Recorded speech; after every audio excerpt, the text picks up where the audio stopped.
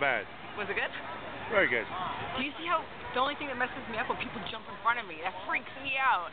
Because Why? I I like to skate right, and they always go right, so then I have to change my direction immediately, going fast.